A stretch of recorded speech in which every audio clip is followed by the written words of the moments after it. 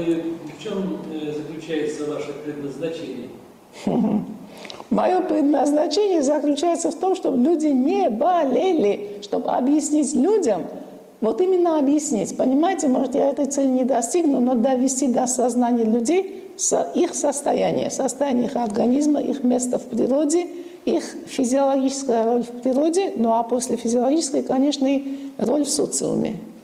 Если соци- человек будет жить в природе, э, в чистой биологической природе, я думаю... Изменится его сознание, безусловно, я безусловно. Скажу к тому, что, наверное, не надо будет делать вот эти клизмы и принимать вот это. Вполне возможно, вполне возможно. В чистой природе и соответствующим питанием, потому что жизнь в природе еще не обеспечивает, Это скажем, просто необходимо делать. да вполне необходимо, конечно. И, конечно, ну, возьмем, скажем, предков